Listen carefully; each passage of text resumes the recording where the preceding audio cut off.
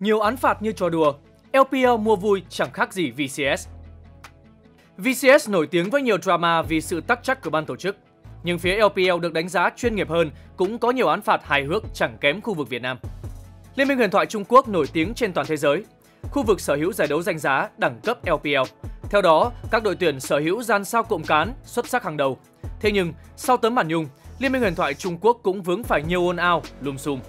Trong đó, mỗi năm, không ít đội và game thủ có hành vi phi thể thao gây ảnh hưởng lớn. Song, không phải ai cũng nhận về án phạt thích đáng. Lịch sử chỉ ra có rất nhiều án phạt thật sự khó hiểu đến từ giới chức trách của Liên minh huyền thoại đất nước tỷ dân. Stis Stis bị cáo buộc có hành vi đi đêm với nhiều đội tuyển, trong khi anh vẫn còn hợp đồng với LGD. Bên cạnh đó, Stis cũng tỏ thái độ bất cần với đội chủ quản. Cuối cùng, đôi bên mâu thuẫn, giằng co và sự việc đến tài giới chức trách. Hiệp hội Liên minh huyền thoại của thể thao điện tử Trung Quốc LACE quyết định cấm một năm thi đấu với Stis. Theo đó, anh bị kết tội cố chấm dứt hợp đồng sớm cùng LGD thời điểm LPL mùa xuân 2014. Thế nhưng, chỉ qua 6 tháng, bản án cho cựu xạ thủ Stitch bị bãi bỏ. Stitch được quay trở lại tiếp tục thi đấu chuyên nghiệp. XX XX từng hứng chịu án phạt từ trên trời rơi xuống thời điểm LPL mùa xuân 2018. Cụ thể, Top Tour SNG nhưng anh lại tỏ ra rất bình thản. Không những vậy, khi máy quay chĩa vào, cựu sao LNG còn nở nụ cười tê tét. Sau đó không nêu lý do rõ ràng, XX bị cấm thi đấu gần như một mùa giải. Đây trở thành án phạt không hề nhẹ trong lịch sử Liên minh huyền thoại Trung Quốc. Nhưng theo Game Anchor Network, vấn đề ở chỗ không hiểu XX phạm lỗi gì để lâm vào tình cảnh như thế. Lian Năm 2020, Lian cũng nhận án phạt khó hiểu. Cụ thể, cựu sao IG lợi dụng book đánh một hit chết luôn quái rừng. Nhưng trận đấu này chỉ mang tính chất vui vẻ trong buổi anh livestream leo rank của người hâm mộ. Song, phía nhà chức trách lại cho rằng hành vi này là phi thể thao.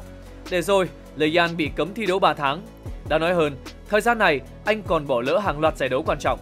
Cựu sao IG không thể tham gia NES, All-Star 2020, All-Star LPL 2020, Demacia Cup 2020, ngồi ngoài hai trận LPL xuân 2021. Tài khoản solo của ngôi sao sinh năm 2002 sẽ bị khóa trong 3 năm. Vasily Vasily là streamer và cựu game thủ Liên minh huyền thoại Trung Quốc. Anh từng khoác áo newbie trước khi nhận án phạt nặng từ Riot Games. Cụ thể, gần cuối 2017, trên sóng livestream, cựu sao 28 tuổi có hành vi đánh bạn gái. Ngay lập tức, Vasily nhận về hàng loạt chỉ trích và phẫn nộ từ cổ động viên. Đầu tiên, phía newbie và nền tảng livestream tuyên bố chấm dứt hợp đồng với Vasily. Tiếp đến, sự việc này còn bị Riot Games dòm ngó. Họ phạt cựu sao NB 18 tháng không được tham gia tất cả các giải đấu trên toàn cầu. Đáng nói hơn, án phạt ảnh hưởng đến giới eSports lẫn mặt mũi của Trung Quốc. Cuối cùng, chính quyền đất nước tỷ dân phải vào cuộc điều tra, làm rõ. Sau tất cả, Vasily bị bắt vì tội bạo lực gia đình. Liên minh huyền thoại Trung Quốc kiểm tra tuyển thủ bán độ bằng máy phát hiện nói dối. Giữa 2020, Liên minh huyền thoại xứ Trung lần nữa xáo trộn vì hàng loạt game thủ bán độ. Câu chuyện cũ nhưng vẫn khiến tất cả giận dữ lẫn ngán ngẩm. Những con người với tư cách là tuyển thủ chuyên nghiệp cuối cùng lại bán rẻ bản thân lẫn tinh thần thể thao điện tử. Đồng thời, sự việc này còn ảnh hưởng đến cả LDL và LPL. Trước bê bối chấn động của đàn em, trên sóng livestream, Ninh tiết lộ câu chuyện dở khóc dở cười. Cụ thể, thời anh còn thi đấu, giới chức trách từng mở cuộc thanh trừ diện rộng cả giới Liên minh huyền thoại Trung Quốc và anh bị nghi ngờ phải đối mặt với cuộc kiểm tra lạ lùng. Ở đó, các điều tra viên dùng máy phát hiện nói dối để kiểm tra tuyển thủ có bán độ hay không. Theo Ninh, thoạt đầu họ chủ động nói về những câu chuyện đời thường với anh. Thông qua điều này, họ sẽ phân tích tâm lý từ đối phương. Ngoài ra, cách thức như trên còn để gây áp lực và nhiễu loạn tâm trí. Thế nhưng, trải qua nửa ngày bận rộn, nhóm điều tra viên không phát hiện được gì từ Ninh. Để rồi, anh còn giận dữ công kích lại những người đó. Cựu sao IG thẳng thừng tuyên bố bản thân không bán độ, không cần kiểm tra thêm. Và phía điều tra viên bị sỉ nhục lập tức thả Ninh. Chưa hết, Ninh còn cho biết máy phát hiện nói dối cái gì cũng không đo được. Ngoài cựu sao IG, Let Me cũng từng kinh qua lần kiểm tra lạ lùng này. Cuối cùng, kết quả, nhóm điều tra chẳng thu được kết quả gì. Sau khi nghe câu chuyện, cổ động viên không nhịn được cười. Họ cảm thấy thương xót cho cựu vương chung kết thế giới. Bởi lẽ, giới chức trách đã nghi oan cho Ninh. Và theo như Sohu, lúc đó, vì bê bối bán độ đã nở rộ và gây phẫn nộ, ban tổ chức LPL buộc phải dung cây dọa khỉ. Cùng lúc đó, IG chơi xa sút và thế là dàn game thủ bị bê đi kiểm tra. Đầu 2021, giới chức trách đã mở cuộc thanh trừ diện rộng ở LDL lẫn LPL. Kết quả lại không có phát hiện thêm gì mới. Đến 2022, một lần nữa, tài năng LDL dính chạm. Nhưng phía ban tổ chức LPL lại chưa có động tĩnh gì. Bo và sự dễ dãi của Liên minh huyền thoại Trung Quốc với tuyển thủ bán độ. Bo từng vướng vào ồn ào bán độ khiến cả LPL lẫn LDL trải qua cuộc thanh tẩy lớn nhất trong lịch sử eSports Trung Quốc. Thế nhưng cuối cùng, chốt án phạt, tuyển thủ 21 tuổi chỉ bị cấm thi đấu 6 tháng. Thế nhưng, bản án này nhanh chóng gây nên làn sóng tranh cãi. Truyền thông Trung Quốc liên tục chỉ trích Bo chưa được xử lý nghiêm khắc. QQ, ScoreGG đều gọi đây là trò cười của giới chức trách. Ngoài ra, nhiều game thủ cũng bày tỏ sự bất mãn khi tội bán độ lại được xử quá nhẹ nhàng.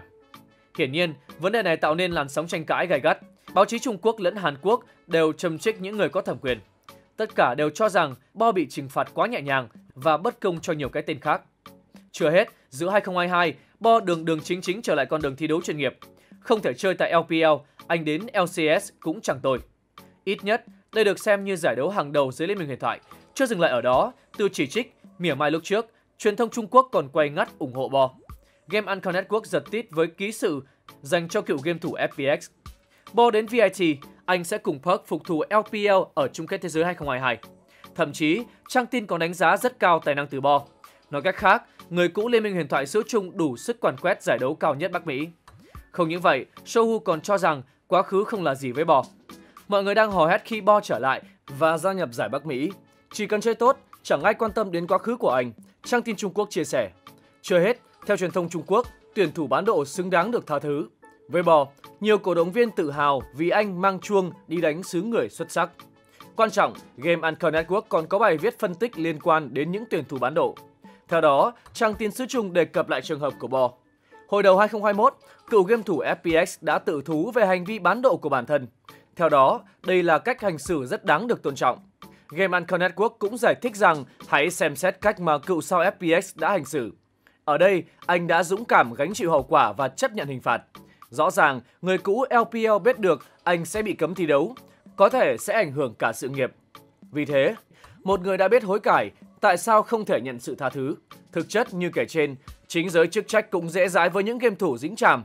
Cuối cùng, những con người từng phỉ báng tinh thần thể thao điện tử xứng đáng được mở đường trở lại. Tới nay, Liên minh huyền thoại Trung Quốc lẫn LPL vẫn âm ỉ vấn nạn bán độ. Điều này xuất phát từ nhiều lý do, chủ quan lẫn khách quan. Thế nhưng, không thể phủ nhận một điều, sự dễ dãi từ giới chức trách, truyền thông và cổ động viên đã âm thầm cổ suý cho những game thủ dính chàm.